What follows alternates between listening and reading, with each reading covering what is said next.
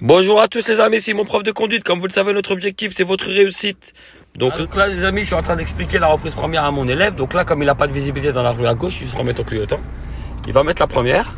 Et pour éviter les fameuses secousses que vous avez, il va lever doucement l'embrayage.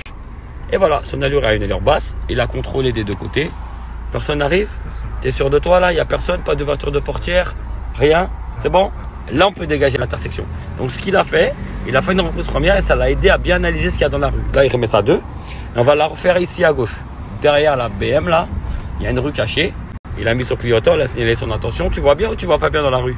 Il voit pas bien. Donc, il freine, il met la première. Il lève tout doucement l'embrayage pour éviter la secousse. Et il analyse sa rue. Il avance doucement. Voilà, il a aucun pied. Comme je vous l'ai dit, la voiture ne cale pas. Il regarde autour de lui. Donc là, on va faire la même chose. Je vais te faire tourner du côté droite. Donc il va contrôler pour signaler son intention. C'est bon. On va tourner à droite. Donc il va commencer à freiner. Il met la première. Il lève tout doucement l'embrayage pour éviter la secousse. Et le premier danger, il arrive de la gauche.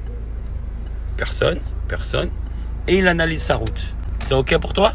Et tu vois, tu arrives à une allure qui est comment là? Lente. Lente, tu as le temps de faire quoi quand tu es lent? De voir. de voir. Donc en fait, ce qu'il a fait, c'est qu'il arrive à une allure qui est tellement lente dans la rue, et en arrivant lentement, bah, il a le temps de voir s'il n'y a pas une ouverture de portière, un piéton qui surgit, une voiture qui quitte son stationnement. Ça sert à vraiment, vraiment, vraiment rentrer dans la rue en sécurité. Et s'il y a un problème, parce que l'allure elle est tellement lente qu'il a le temps de s'arrêter. Au bout de la route, on va tourner à gauche.